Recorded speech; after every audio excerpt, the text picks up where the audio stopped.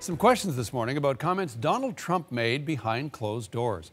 The U.S. president told Republican fundraisers that China's premier was paving the way to becoming president for life, and he suggested that the United States might do the same someday. Megan Roberts is following the story for us and joins us now. Take us through what Trump said.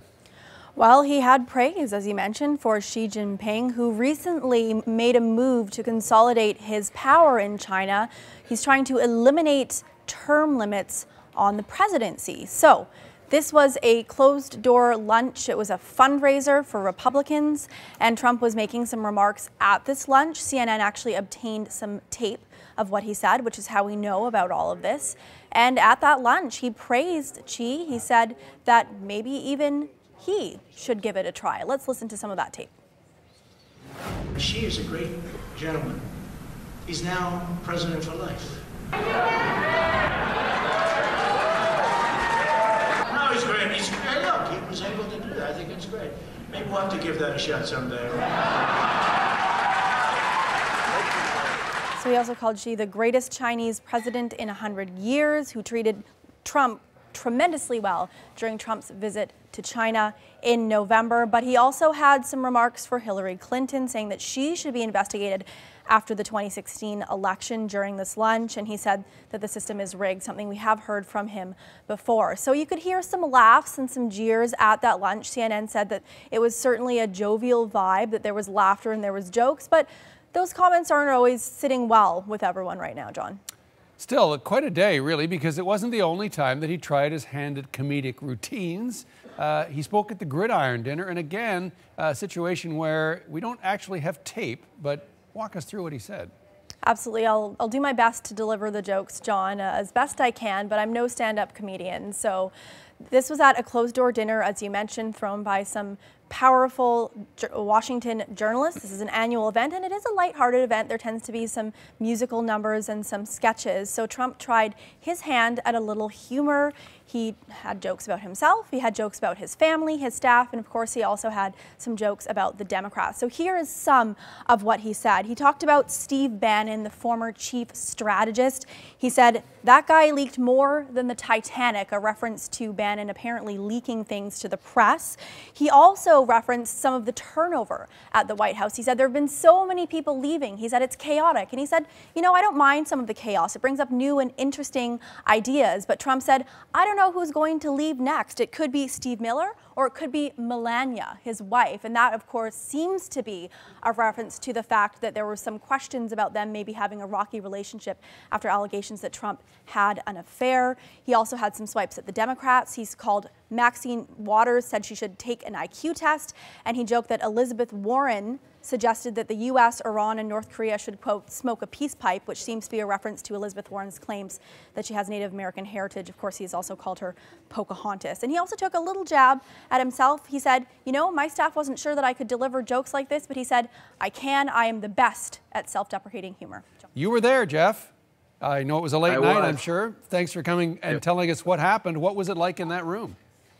My pleasure. Well, it was interesting because the president, of course, was there, and he didn't come last year uh, to the Gridiron Dinner or to the White House Correspondents' Dinner. So there were a lot of sort of question marks about how he would handle himself and how he would do when giving his remarks. And he was pretty funny. I mean, there were there were times when he started sort of veering in a direction where I thought, okay, this is where he's gonna he's really gonna let loose on the media, uh, which he of course is prone to do on Twitter uh, and at rallies with his supporters. But he didn't really go there last night.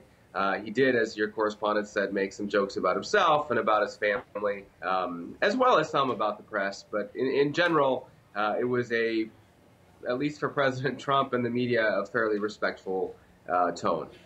As you say, Jeff, this is someone who's referred to the fake media, referred to the media as an enemy of the people. Uh, any optimism that this is the start of a new relationship? You know, it's it's hard to say. You know, he, he did start the day out with a tweet that was critical of the media, saying that the U.S. mainstream media was the laughingstock of the world. So when I saw that, I thought to myself, "Oh boy, um, we're in for it tonight." I wonder what uh, I wonder what that's going to mean. I even wondered if he was going to pull out at the last minute, but he didn't. He did show up. Uh, I think the next sort of question mark will be if he decides to attend the White House Correspondents' Dinner.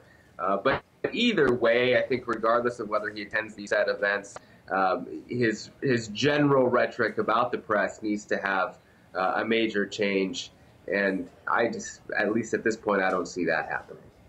Amidst all the jokes, there was potentially news being made, uh, suggested meeting uh, with North Korean leader Kim Jong Un, uh, and wouldn't rule it out. Uh, is that another joke, or was that something that people in the room thought, hmm, maybe this is headed somewhere?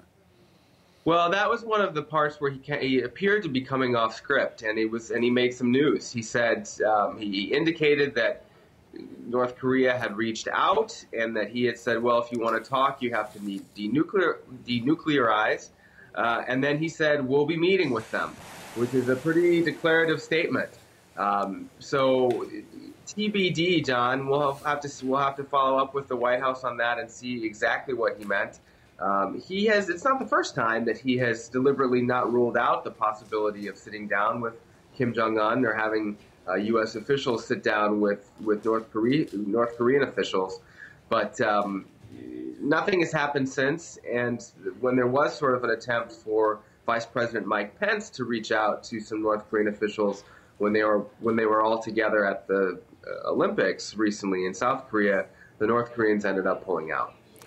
It was quite the day for presidential statements. Uh, speaking to Republican donors earlier in the day, uh, praise for China's President Xi Jinping, consolidating power, abolishing term limits, uh, saying the U.S. should give it a shot. Any reaction to that? Well, it's hard to know apropos whether he's joking or telling, you know, speaking what he really thinks. It's hard to know in that case uh, where that falls on that line. I heard the tape that you played earlier, and, and there was obviously some applause from the crowd, but it sort of sounded like the tone of his voice was joking. I, I don't know the answer. I do know that he has been very opposed to, um, to, to abolishing term limits before. Uh, we did ask Sarah Sanders, I, I did last week uh, during one of the White House press briefings for a reaction to what President Xi has done in China. And her response to that was, well, that's up to China. Um, so, in general, the White House has already given sort of an imprint of approval uh, to the Chinese, despite some concerns about um, elsewhere among foreign policy analysts and others around the world about what was going on. So, I'm not surprised that President Trump was also supportive, but I don't think he means seriously uh, that he would want to do the same thing here. Another big question mark to come out last week in Washington the issues over uh, increasing tariffs on steel and aluminum. Uh, Canada very concerned, but many Americans are too. How is this threat by the president being taken by Americans and Congress?